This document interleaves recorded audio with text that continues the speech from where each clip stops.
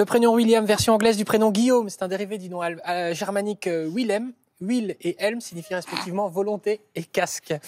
Euh, il, y a eu, il y a environ 8 à 900 William qui naissent chaque année en France. C'est un beau Oh, prénom. ouais, hein, beau prénom. On en compte actuellement près de 67 000 en France. Leur fête, c'est le 10 janvier. Et des Williams célèbres, vous en Bah, voulez Prince William. Ouais, Prince William. Bien sûr, le duc de Cambridge, mari de Kate Middleton. Voilà, il est beau, il est Oui, charmant. William Lémergie.